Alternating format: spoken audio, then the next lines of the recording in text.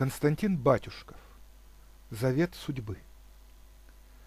О вольность, дар небес и сердца тихий жар! На кухне закипел пузатый самовар, Зывает в дом гостей проворная девица, Бронится сам с собой беспечный мой возница, Щенята тощие резвятся, не поймать, В гостиную окна читает детям мать, Все слышится окрест, все тут же подмечаю. Мой друг, но где же вы? Пора напиться чаю. Оставьте на потом героев ваших книг. В застолье с пирогом, покою ни на миг. Киприда и Ирод нас занимают в туне, но долго говорим о ветреной фортуне, о карточной игре, о платьях, о пере, о шелковой тесьме и дамах при дворе, о жрицах вакховых, слегка обвитых хмелем, о вакхе, что для них играет на свирели.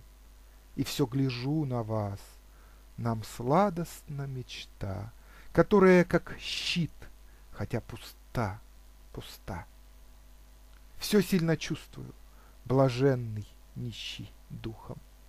И взором все ловлю, и жадным, острым слухом. Как строг завет судьбы!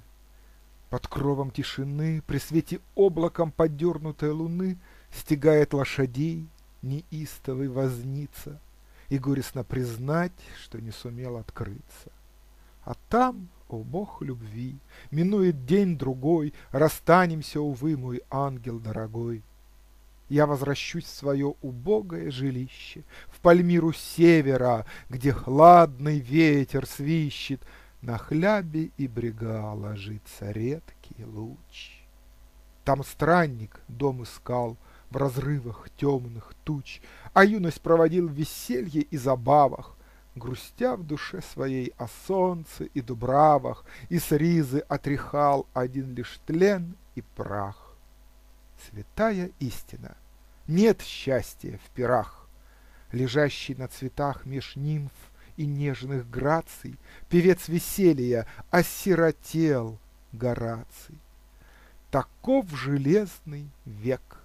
Кто прежде обметал пыль с мраморных крылец, тот ныне знатен стал.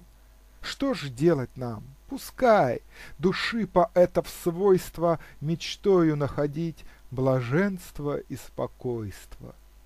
Счастливая мечта, вы, ангел мой, со мной, хранитель, гений мой поэзии родной, я возвращусь к себе, оставив пепелище, в Пальмиру севера, в убогое жилище, там, у камина став с поникшей головой, блаженство в будущем приму за жребий свой.